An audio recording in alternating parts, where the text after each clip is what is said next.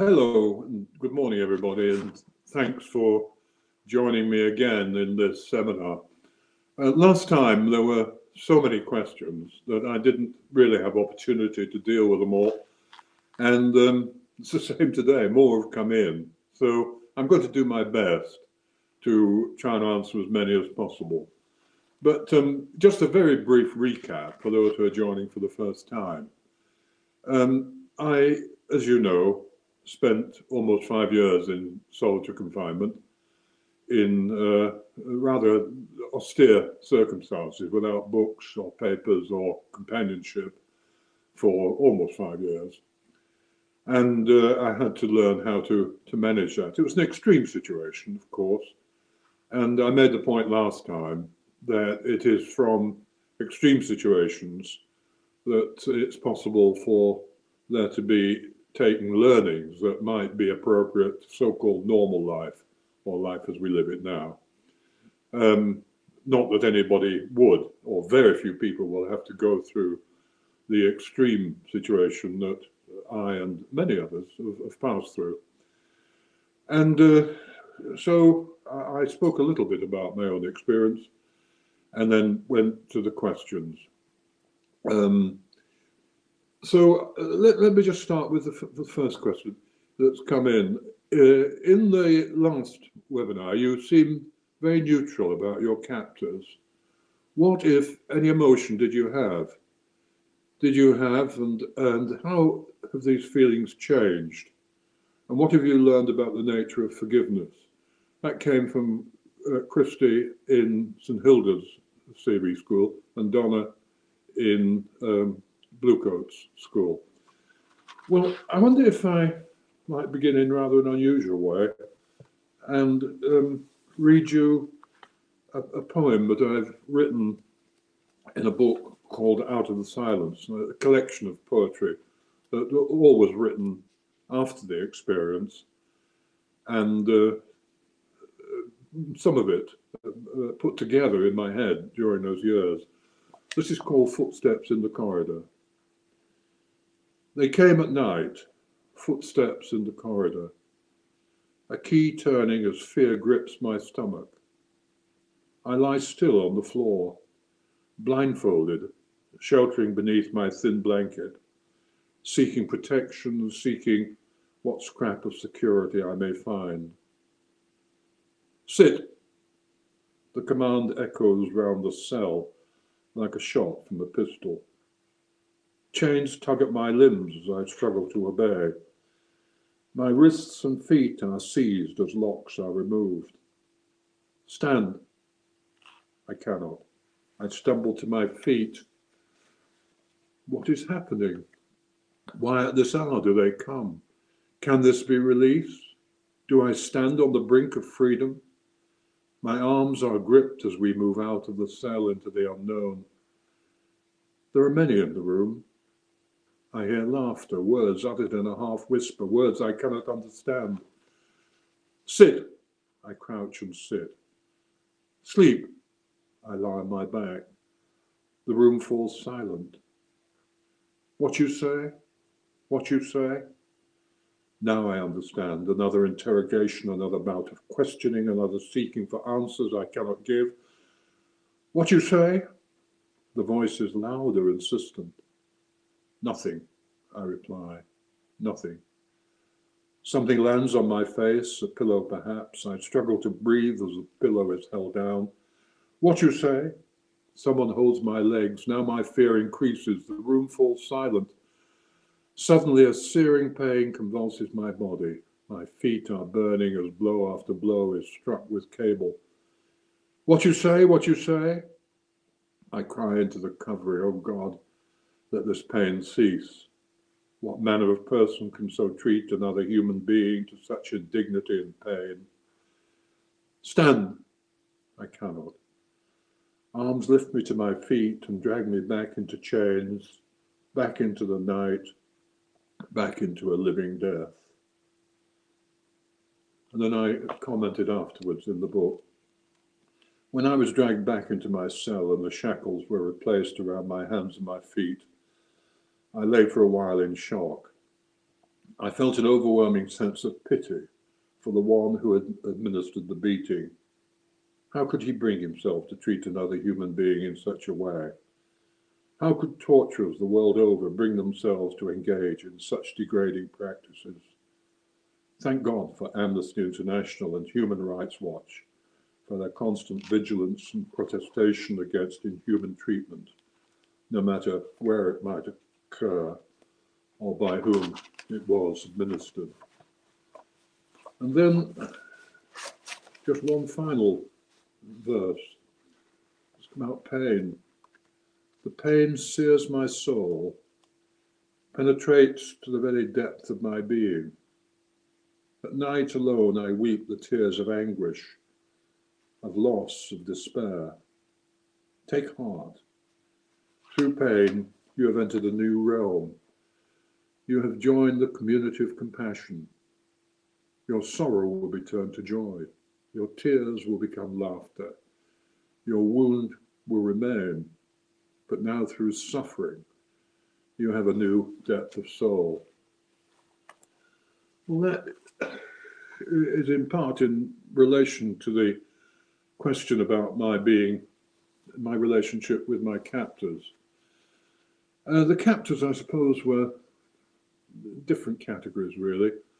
Every terrorist organization and every gang and every group attracts to it people who might, might describe as being psychopaths, who have little or no feeling for the feelings of other people. But um, not all uh, members of those groups are, are psychopathic. Um, and yet they're drawn into these organizations. I, I give you an example. Um, when uh, John and Brian um, were together, John McCarthy and Brian Keenan in captivity, the food became very poor, very bad. And they complained about it, and nothing, nothing was done for a long, long time. And when eventually uh, the headman came to see them, he looked into it and he discovered the old trick. You know, the guard on duty had um, been given money to buy food. He'd pocketed half the money and then spent the other half on food. Consequently, the food was bad. And uh, so they took this lad, the guard, took him outside and they shot him because they said if you'll cheat us in small matters like that, someone comes along with a big bribe and um, you'll give the whole game away.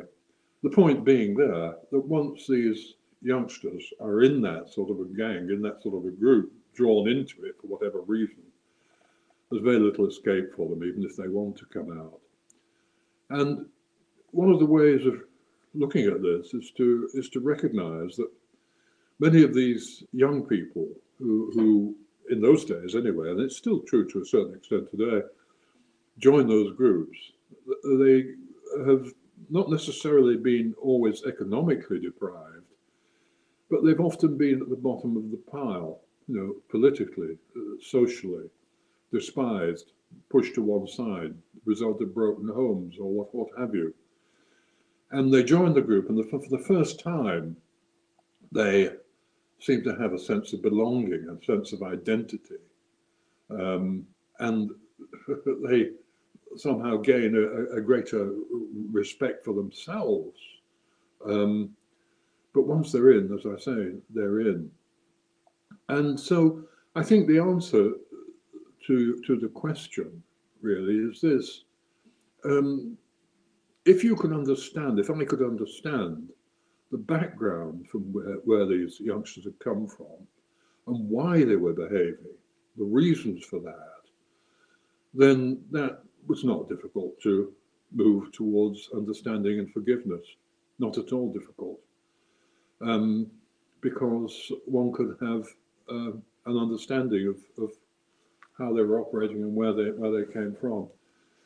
And I think that's true in, in most situations when it comes to forgiveness that if you can understand, you can forgive. It doesn't mean to say for one moment that you condone the behavior. Of course you don't. Um, uh, and one should not condone bad behavior of any kind. Of course not.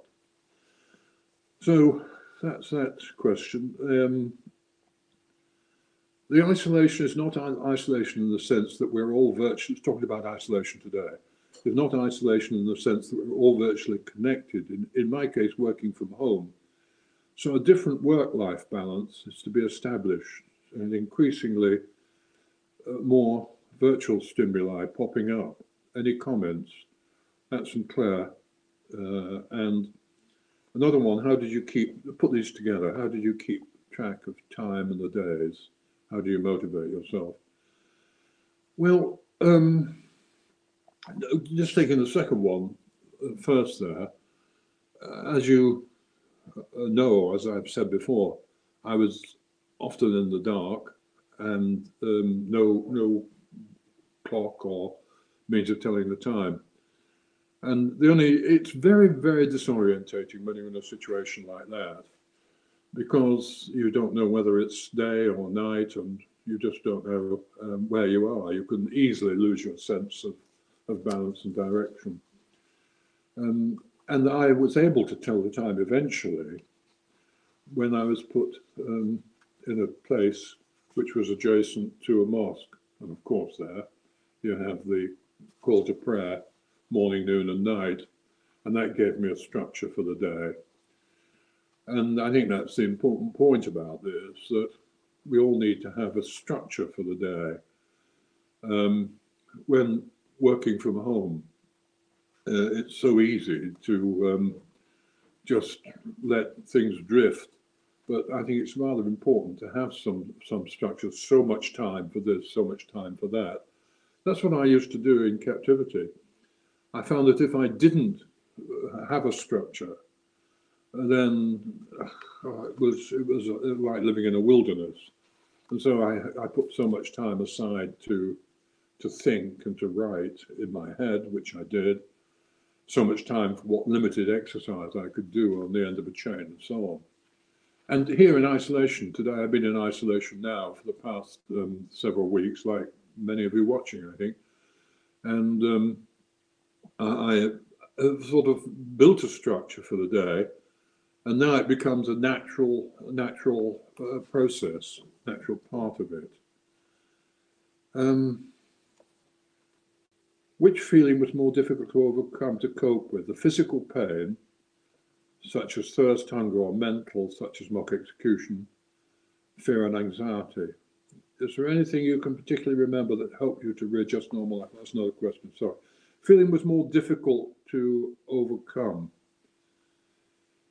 Uh, really, that's from uh, Maria in Ashland School well, I was afraid, obviously, and, and I think that uh, poem I read to you um, indicates that. Um, I don't think I was never really, uh, Maria. I was never really, uh, never really, really hungry or thirsty. I mean, they always gave me water, and I got very simple, not very good, but very simple food. I think yes. I think the biggest fear was the mock execution and that, that type of fear. I mean, I remember once they came into the room and the chap came in with an electric drill. And I thought, oh my God, he's not going to use that on me, is he? And um, mercifully, all he was doing was uh, drilling um, holes in the wall so they could fit more staples to attach my chains to those um, to the wall.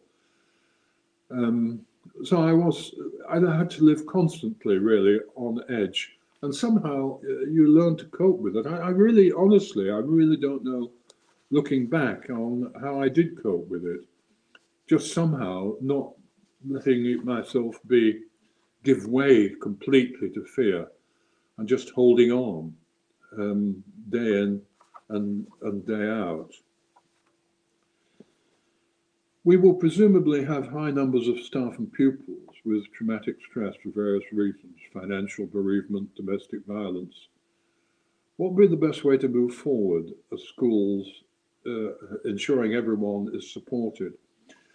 Well, that's an interesting question because um, I'll answer it in a couple of ways.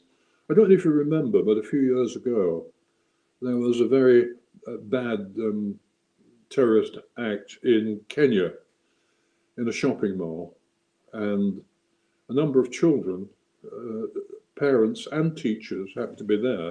It was a shopping day from the same school, and uh, a number were killed.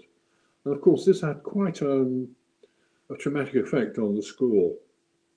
And I got a call from Kenya, from the from the school itself, saying, "Was there any possibility of my going out and working with them uh, for a couple of days, just to help them come to terms with this experience?" So I, I flew out to, to, to Kenya, and I, I previously worked in Africa. I knew Uganda and I knew Kenya a little bit. I didn't know the school; it was new to me. And um, uh, one of the things we did was to bring together uh, parents uh, and teachers and pupils and to enable them to uh, speak together, to talk together, just to share the experience together, and to look at it from different ways. And um, it was really the whole process, just enabling people to quickly uh, talk about the experience and quickly um, get it out of the system, if you like. It, it did work. Um, which I, I, I, won't go into all the details of how we structured it now, but it did work. And there was a, another, uh, I built that on another experience I had some time previously when working with colleagues in Kosovo. And in Kosovo, following following any warfare, but this was true in Kosovo, but following any warfare, you have um, people go away and forget about the situation, leaving behind the casualties. And the casualties are mainly women and children who are traumatized by some of the dreadful things that have happened. I remember meeting one young boy who um, was in his house with his parents uh, soldiers came in, they shot every member of the family, excepting this boy who hid under a table or somewhere. And when he came through this experience, when he came out, when he, he, couldn't speak, he was just totally traumatized by the whole experience. And he was just one of, of many kids and, and uh, mothers who'd been really badly affected by, by the war. So we, we set up a whole series of clinics across the country. We brought uh, young women mainly to this country for uh, special training. And then they went back and, started the clinics. One of the techniques they used was this. The problem was getting the youngsters to talk about the experience. And so they were given um, sheets of paper and crayons in one room, the mothers were in another room and they uh, just uh, asked, draw, draw what you wish. And they drew, and invariably they drew uh, pictures which um, coming from their deeper inner feelings. And then we brought them two together and said, right, just tell your your mother about these uh, these pictures. Just talk to her, and that began to open up the dialogue between the mother and the child in a way that enabled them to get rid of the the negative experiences.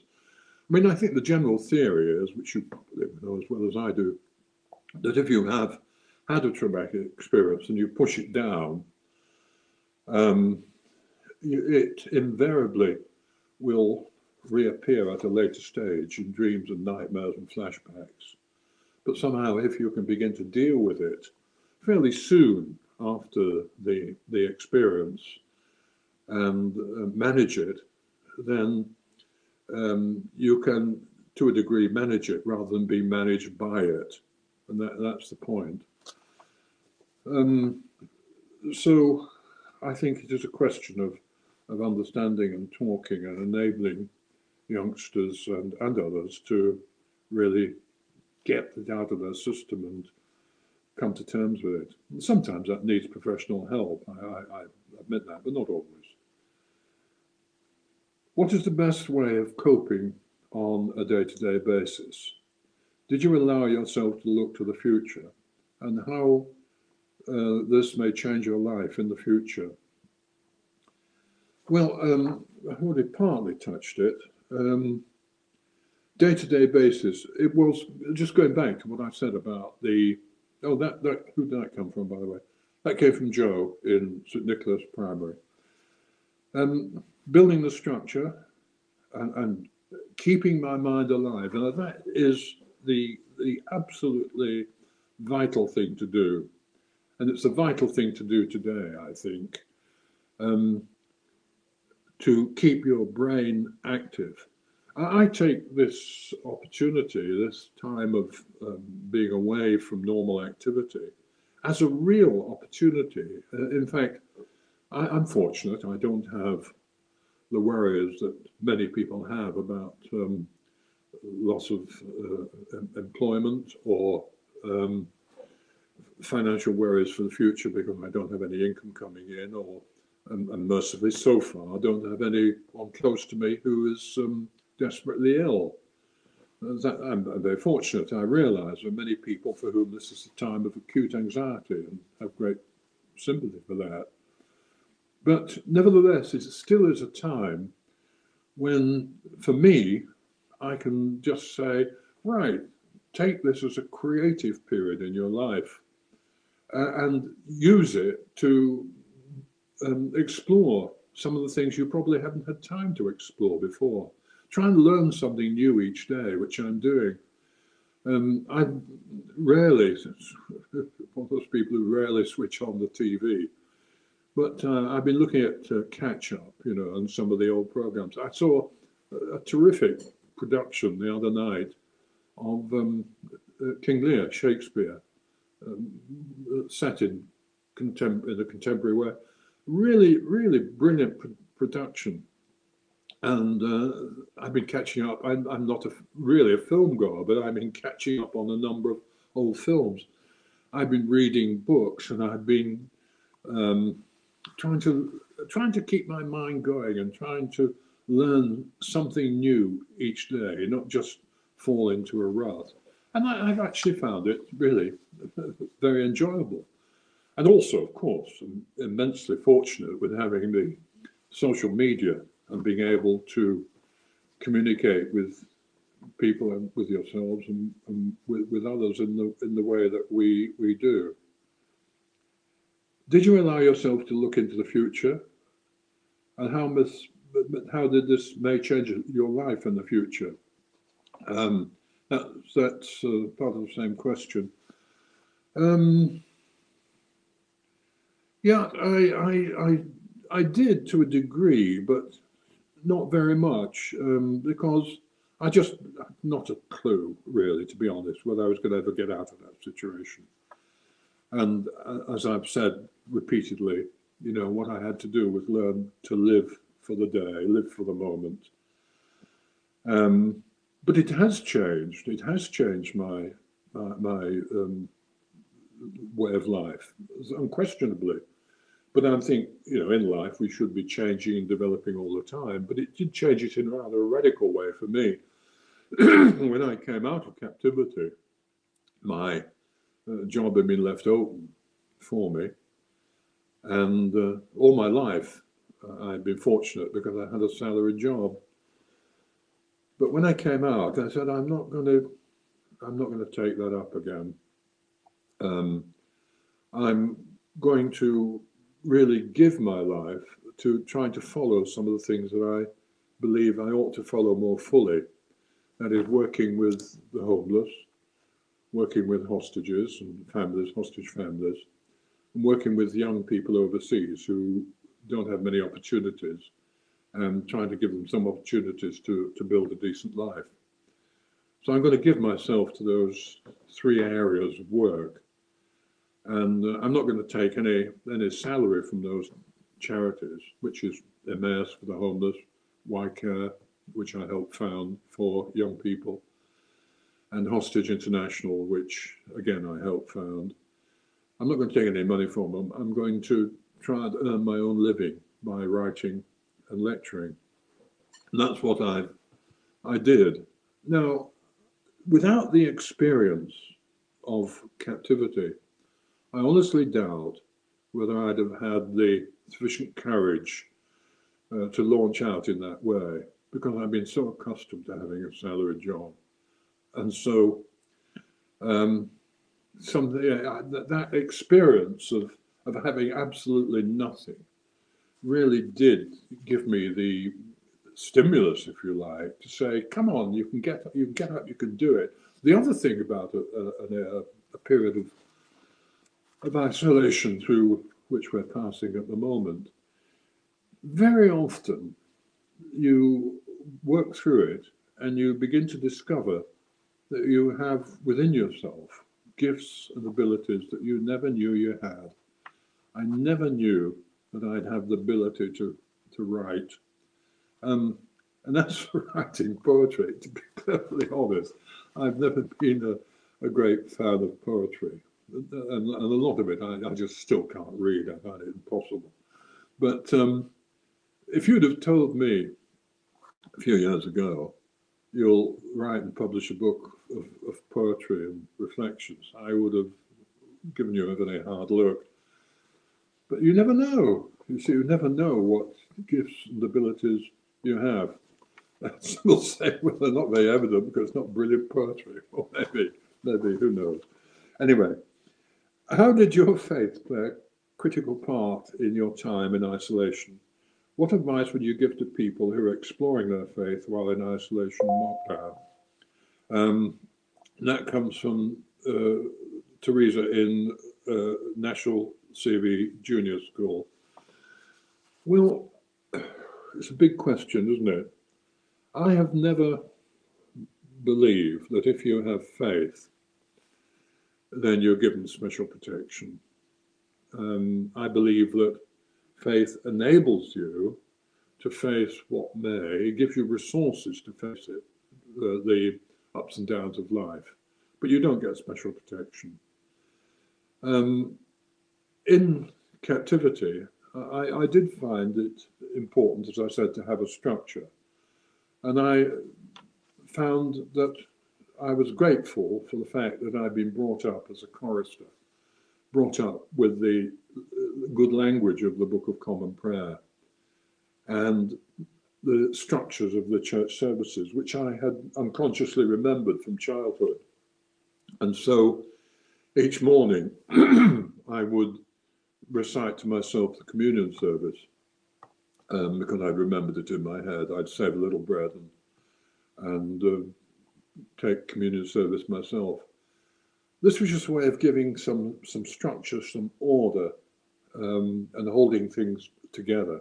And in my imagination, as I said that service, I linked myself in my imagination with um, others around the world who were saying the same service and going through the same service as myself here in isolation, um, miles from anywhere. And um, I've never believed either that faith is dependent on feeling, because feeling is so uh, subject to so many factors. You know, you could be ill and that can affect your feeling. And I don't think you should base faith on feeling at all. Um, but I, I didn't lose faith, and faith enabled me more than anything else to maintain hope. So I would say, it's coming up to the end, it's half past. Can I get one more question in? Um, Oh, that I've just answered it. Did you, during your terrible ordeal, did you ever have reason to question your faith? Said um, Ash from um, Burlish Park Primary. Um, no, not not to question. But on the other hand, you know, I've always had questions. I've always, um, I think, because you have faith doesn't mean to say you shouldn't question and you don't have doubts. Yes, I've always had questions. I've always had doubts, and I've always regarded faith as being an exploration, uh, um, a movement towards an understanding of the mystery that lies within and the mystery that lies beyond. We give, um, you know, we give shape to that mystery through our rituals, through our services, through our concepts. We give it a human shape because that's the way we can get hold of it.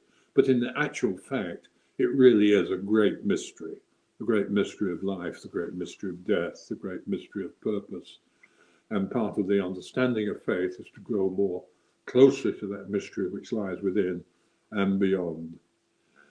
Um, after your last uh, web, webinar, has it triggered any negative thoughts or emotions that affect you mentally? No, it hasn't, though. Um, I don't mind talking about it, um, talking about the experience.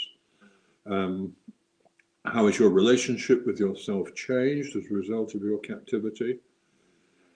Um, well, it's it's it has, as that little poem put it, it has in fact deepened my compassion. Compassion for people who find life tough, who find life hard.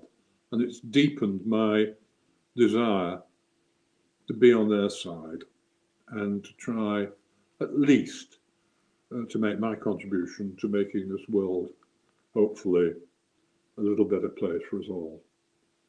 So that's about it. I've got a whole pile of questions here I haven't answered. I'm sorry about that, so I can't get to it. But perhaps, you know, one day when all this is past, we will have the opportunity to meet face to face, maybe in your school or maybe somewhere. Meanwhile, thanks for joining me and um, apologies for not being able to deal with every question. Bye bye.